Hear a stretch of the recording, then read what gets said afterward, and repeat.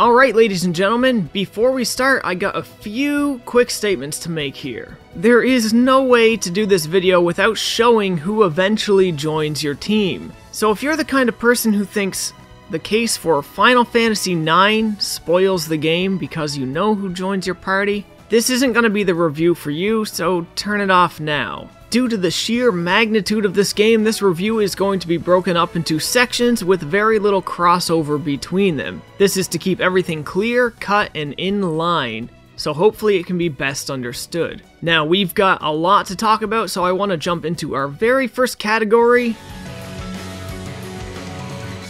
the basics. Xenoblade Chronicles 2 is a massive linear action JRPG with pseudo MMO elements released at the end of 2017, developed by Monolith Soft and published by Nintendo for the Nintendo Switch. Xenoblade Chronicles is an offshoot of the Xeno series that started on the PlayStation 1 with Xenogears and continued on the PlayStation 2 with Xenosaga 1, 2, and 3. And yes, I say Xeno and not Zeno, I do not know what's correct. While this is called Xenoblade Chronicles 2, it would be amiss to refer to this as a sequel. If anything, this is a side story to that of Xenoblade Chronicles 1. If you haven't played Xenoblade Chronicles 1, you can still play this. There is no context given in the first game that you'll need here, and aside from one single reference, the events of that game will never be mentioned. In almost every way, shape, and form, this is its own entirely separate entity with its own unique setting, unique story, and unique battle system. So let's start this off by talking about the setting. First off, let me just say that I am absolutely floored at the originality of this world. It was one thing in Xenoblade Chronicles 1 to venture across two massive static titans, but in Xenoblade Chronicles 2, you venture across many animated titans as they trudge their way endlessly through a radiant and brilliant cloud sea known as Alrest. At the epicenter of this cloud sea is something known as the World Tree, which is believed to be a nearly inaccessible gateway to a new land known as Elysium. And let me just repeat one of those things here. This world is built on the back of titans who roam in a cloud sea a fucking cloud sea. I've never seen a setting like this before. It's amazing how much a simple notion like replacing water with clouds can shift the entire perspective I have on a world's design. This one design choice thrust this game into the upper echelons of originality for me. So far as I know, there's no statement on the size of this world, and due to the amount of it that's filled with empty cloud space, a true meaningful estimate could be very hard to calculate. But even if its scale is somehow smaller than Xenoblade 1 or Skyrim or similar games, the density of content within this world is in leagues of its own. And the way they utilize the space within these areas really gets the most out of it that can be got. Each area of the game is packed with a wealth of history, and most areas, save for a few, have a great attention to small details. Races such as the Nopon return from Xenoblade Chronicles, and many new races are introduced. In a short while, we will return to some of these talking points to discuss the art direction of the game, but now that the setting is established, let's discuss the story. In as few words as possible, and it's gonna be a lot of words.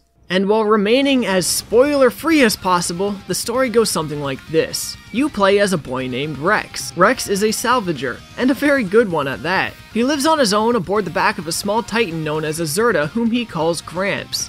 One day while roaming the Cloud Sea, Rex sees a titan collapse and fall below the surface of the clouds. This event sets in motion the idea that Alrest and all of its titans are dying. With fewer and fewer titans left, it becomes clear that unless something drastic happens, all life on Alrest will end. There is no land in the Cloud Sea, and life cannot thrive beneath the Cloud Sea. So when the last titan collapses, so too does all of civilization. This is where Rex turns his sights towards the World Tree. Ancient legends talk of a place atop the World Tree known as Elysium. Much like the definition of the term, Elysium is a paradise land, a place that can really only exist in the afterlife or in mythology. As such, many people of Alrest believe it is just a fairy tale, but Rex is different. Rex is somebody whose heart is bigger than his brain, and he has a child's sense of wonder. And so he stands firm in his belief that the place actually exists. Getting to Elysium, though, is a task well beyond the abilities of a lowly salvager like Rex, and it's not a task he's chomping at the bit to begin. One day, Rex is approached by a Nopon at the Argentum Trading Guild and offered an exorbitant amount of money to take on a salvaging mission for a group of unfamiliar adventurers. Smitten by the money, Rex accepts the job without even questioning what it is. This job has him recover a human body from beneath the Cloud Sea, and this is where everything goes belly up. Events transpire quickly. Rex is the game ends and the credits roll. Oh, uh, no, wait, that's not how it goes. Rex awakes in a sort of mind space version of Elysium where he meets a girl standing next to a tree. This girl is named Pyra. Pyra is what's known as a blade. Blades are kinda like people and creatures summoned through cores that fight for people named drivers. Not everybody can be a driver though, their spirit must resonate with the core to be a driver. After a short conversation with Pyra, Pyra gives up half of her life, transferring her core to Rex so that he may the game ends and the credits roll. Oh, uh, no, wait. Realizing now that he is a driver and in possession of his first ever blade, Rex and Pyra set out to climb the World Tree and find Elysium, so that the people of Alrest will have a place to live when the Titans all succumb to old age and die. And while they are doing all this, the group who hired Rex to salvage Pyra from below the Cloud Sea are in pursuit of him, because Pyra isn't some ordinary blade, and they have big plans they require her for. Beyond this point, the story spirals out of control and becomes well beyond my abilities to sum up. This game is divided into 10 chapters. Each chapter contains about 5 hours of story content except for chapter 10 which maybe has 2 or 3. With that it stands to reason the game can be beaten in or around 50 hours. But let's not make the mistake and assume any of us will be beating the game quite that quickly. Xenoblade Chronicles 2 has an outrageous amount of side content, and most of it simply cannot and should not be ignored. Although there's only 5 hours of story content in each chapter, I found myself spending around 10 hours in each, making my runtime with this game nearly 100 hours in length. Believe it or not, I only managed to get it down to 100 hours because I drastically reduced the amount of side quests I'd done in the last three chapters so that I could have this review ready before Monster Hunter World releases. I will return to talking about the side quests and additional content variety later, but for now, I want to give you a quick rundown of what my reactions to each chapter was like throughout the game, because giving you a rundown of the story beyond this point is just insane. So here we go. Chapter 1. Holy crap, this game is not messing around. While it doesn't have the same bombastic first 10 minutes of Xenoblade Chronicles, it sets up a bleak future for the world of Alrest and introduces you to the majesty of its world and characters in an absolutely stunning way. Action-oriented cutscenes and invigorating music set the tone for what is sure to be an adventure of epic proportions. Chapter 2. Alright, so we slow down a little bit here to get better acquainted with the world, the people, the land, the politics, and new story relevant characters. It's clear we're already developing subplots, and tutorials are running rampant. Although the tutorials already feel intrusive here, you can expect they won't slow down until nearly 40 hours into the game. The density of the world and what you can do is really starting to be realized, but even here, it's nothing compared to what will come later. The start of this chapter is a tad on the slow side, but it ends on a very climactic, action-oriented note. Chapter 3. There's more of what's going on in Chapter 2. A lot of tutorials, world development, and subplot development, but man does this game ever shift by the end of this chapter. Most people mark the end of Chapter 3 as a turning point for the game, and I have to agree. This is where you feel the weight of your emotional investment up until this point. Once you complete this chapter, it's full steam ahead. You will not be putting the game down after this. Chapter 4. Following the events of Chapter 3, a wealth of new side quests, game, and battle mechanics have opened up. So much so that I didn't truly understand the new combat mechanics for at least another 20 hours. It's in this chapter some of the shady political dealings of Alrest begin to unfold, and the shape of Alrest's seedy underbelly begins to show. The politics in RPGs are some of the most engaging plot devices for me, and here is where the game began to speak all of my languages, but at this point they were just whispers. Chapter 5. Yes, the tutorials are basically over at this point, and the land of Alrest is falling into complete political turmoil. Bring it on, this is my shit. Chapter 6. Holy shit, oh my god, how can this get any better? I thought the political turmoil of Chapter 5 was cool, but this is something else. Also, no spoilers, but oh my god, my fucking heart at the end of this chapter. Chapter 7. Wow. Now I'm depressed. But in a good way, guys. The game had my heart and it's literally tearing it apart. At least I was depressed until the end of the chapter. The end of the chapter kicked my ass into feeling the most pumped up a person can feel without going into cardiac arrest. Chapter 8.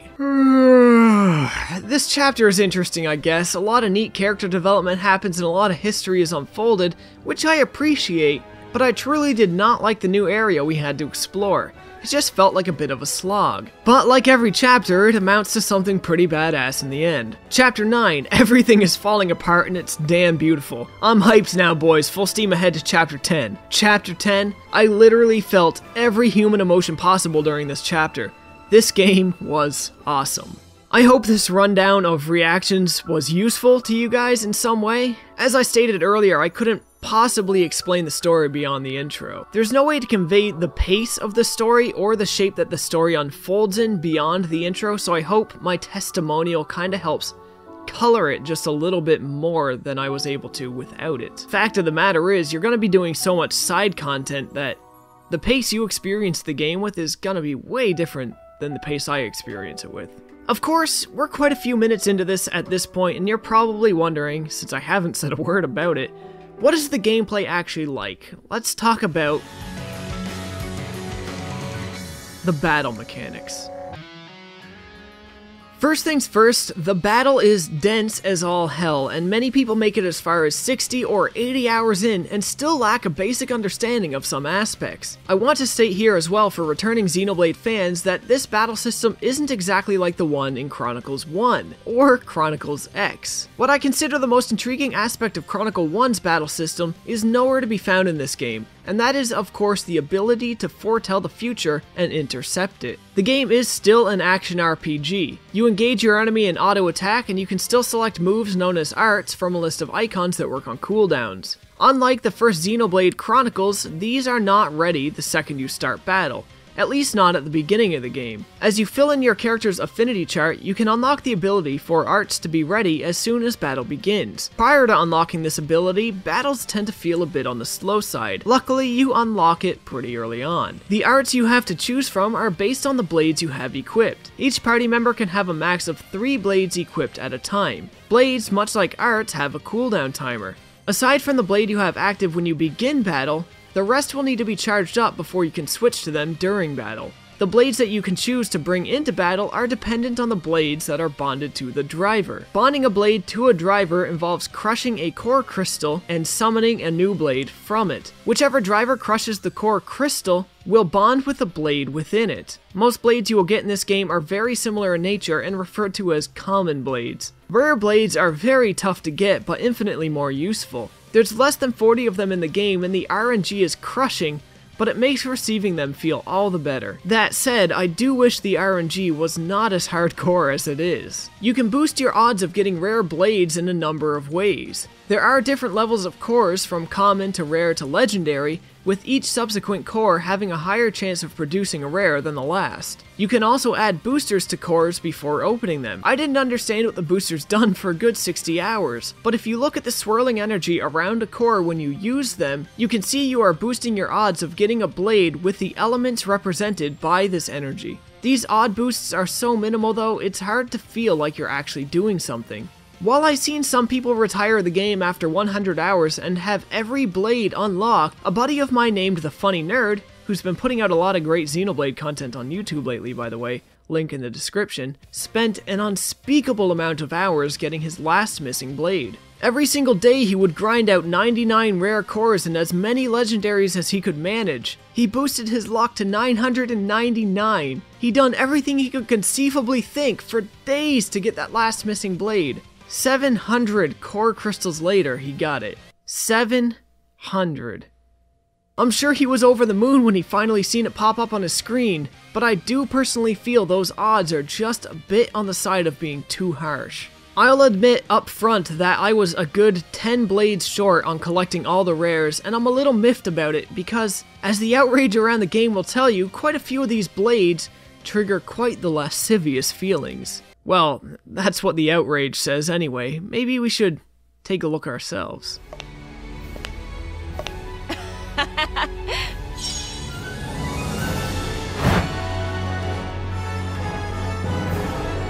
Alright, well, that's not so bad. I mean, sure, it's sexualized, pretty hardcore, but it's not like they're stripping off their pants and shoving their bare ass in the camera at all times. Or maybe they are. Getting back into the battle mechanics. Sorry I had to go off in that long tangent about the blades, but the blades do function as your weapon, so it is kind of important. Now earlier we talked about how different blades have different arts, but these arts are actually tied to the weapons they use and are called driver arts. There is a subclass of arts called blade arts that are unique to the blade itself. Blade arts are pretty powerful attacks, but their biggest use ties into this chart up here, which many people take far too long trying to understand, so let's do a quick rundown. If I use a blade art of any level, you will see this chart appear up here. When this chart appears up here, a timer will appear over here. What's going on here is that I've started a combo attack. Based on the element of the blade art I use, two different blade arts can be chained off of it. But the catch is that the blade art that follows it must be a level 2 or higher blade art of an element represented in the second column, and it must be performed before the timer over here runs out. Once this is done, a new timer starts and you must perform a level 3 or higher blade art that corresponds to the elements in the branching path of column 3. Again, this must be done before the new timer runs out. Provided you made it all the way to the end of this chart, a special attack will launch and plant an orb of that attack's element on the enemy.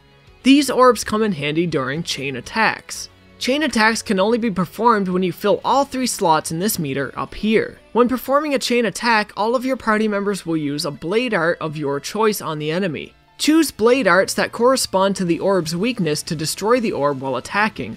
If you destroy the orb, you extend your chain attack for an additional round. You can plant a ton of orbs on the enemy before launching a chain attack. If you planted enough orbs on the enemy and you break them in one round, you will perform a full burst, but at this point, we're getting a little too deep into the combat mechanics. One thing they did carry over from Xenoblade 1 was the auto attacks, breaks, topples, and directional effects. When you approach enemies, your standard attack happens automatically, and these charge up driver arts. Breaks are special status effects you inflict with certain driver arts. They have no immediate effect, but allow the use of Topple, which can then also be used in conjunction with launch attacks for heavy damage. Directional effects too are exactly what they sound like. When standing on certain angles to enemies, different attacks will have different effects. Getting on the correct angle is not always easy though, due to the aggro system. Enemies who are aggro to you will almost always be facing you, so make good use of aggro reducing attacks before you launch attacks from specific directions. There are no items in battle. Healing is left up to driver arts or potion drops from enemies in battle. Revives are tied to the chain attack meter up here. If Rex dies and these meters are empty, the battle ends. During an auto attack, the second your auto attack hits the enemy, if you choose to use a driver art at that very moment, you actually get enhanced effects from that driver art, and it actually does a lot more to charge your driver arts and your blade arts. There is a full status effect and elemental system in place, but at the risk of being too much of a tutorial in and of itself, it may be best to move on from here. I think this does more than enough to give you a rundown of what to expect from battle in Xenoblade Chronicles 2. Battle mechanics expand even more beyond this, and there's quite a bit I didn't talk about, but the late game battle mechanics that get introduced I can't really show due to visual spoilers. Let's talk now about the various progression systems and side quests in the game. Progression systems and side quests. Of course, this is an RPG, so you can expect that killing enemies will net you XP to level up with. But what's surely mind-boggling is all the other areas of the game you can level up, and how easy it might be to miss some of them. Let's start with Affinity. Every single blade and character in the game has an affinity chart. These charts contain passive and active skills. Some skills can be used in combat, some in conversation, some while opening chests, mining rock, or gathering plant life. These affinity charts can be very complicated. Take a quick look at them and you'll realize they are not just going to fill themselves in. Many blocks on this chart must be filled in by doing specific things. Some rare blades like Boreas can be filled in almost entirely by feeding him, but for the most part the average rare blade will have a myriad of requirements. From killing X amounts of specific enemy types, talking to X amount of specific types of people, viewing specific heart to heart events, sending specific blades out on specific mercenary missions, etc., etc. A lot of the time, these quests will even open up cutscenes that fill in the blade's history and personality. And that's one thing I love about this game. The rare blades are not just throwaway characters,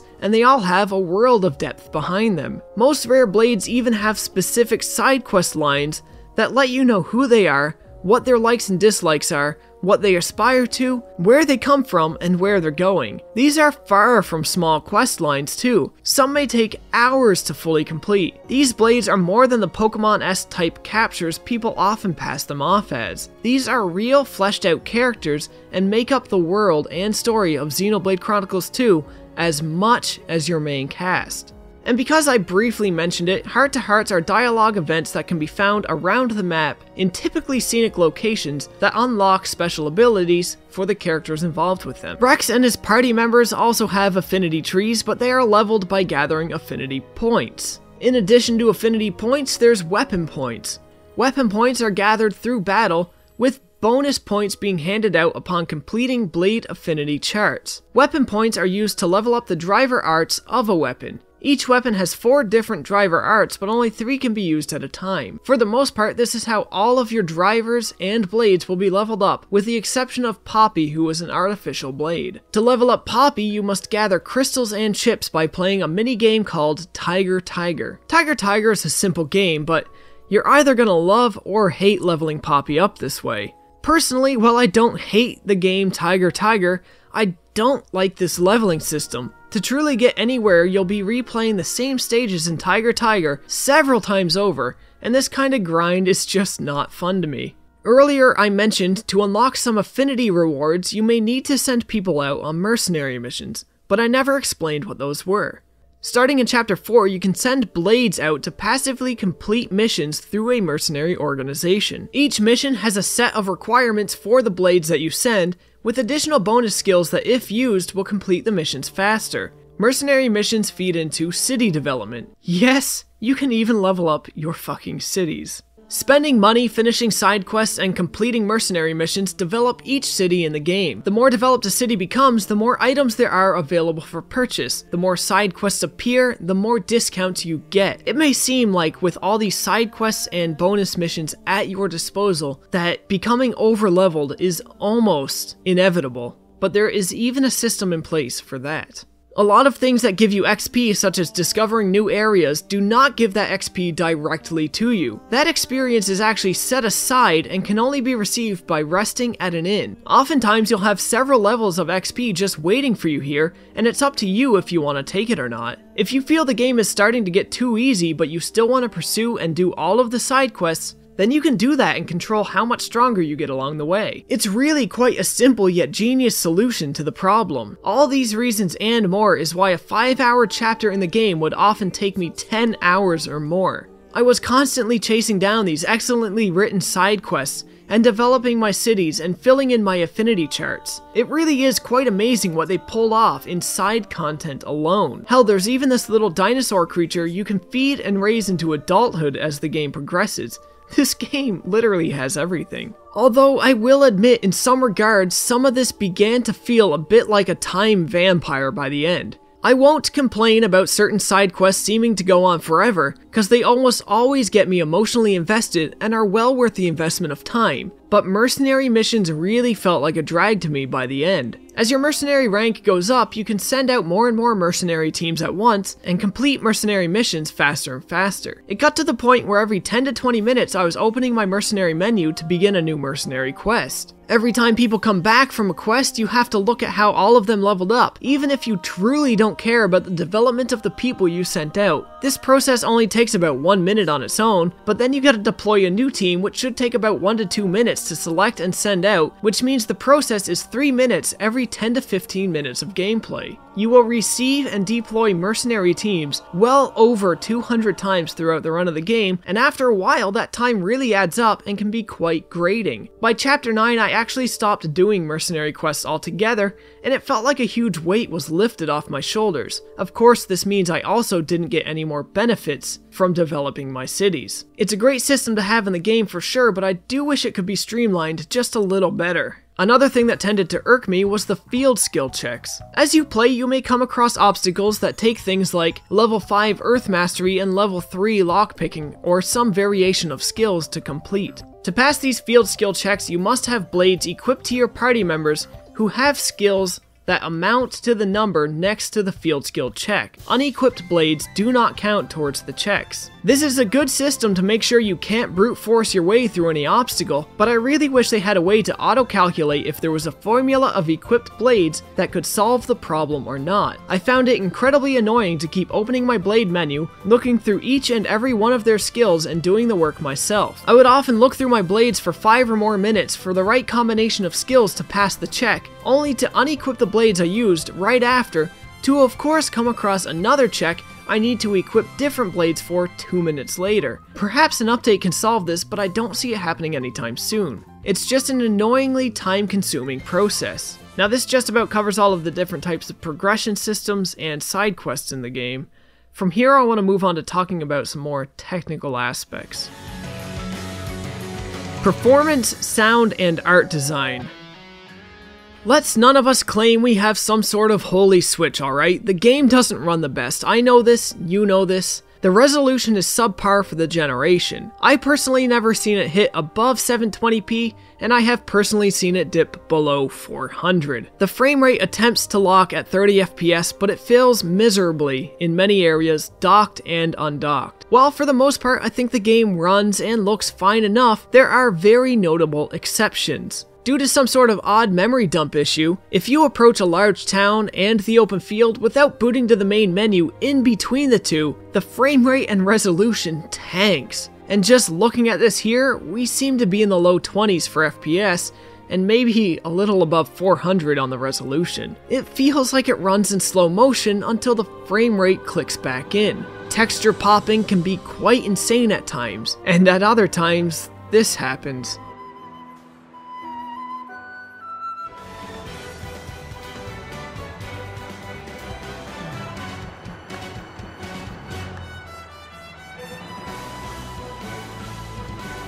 Grass phasing in and out of existence in Mor Ardain. The camera offers a lot of control for the player and that feels great, but it doesn't quite know how to respond to the environment, which makes navigating narrow spaces a bit headache inducing. The battle camera as well, when casting blade arts, doesn't really seem to know what to do with itself. And once during a really emotional scene that I won't show for spoiler reasons, the textures on a few characters didn't load, making the whole scene look derpy as hell.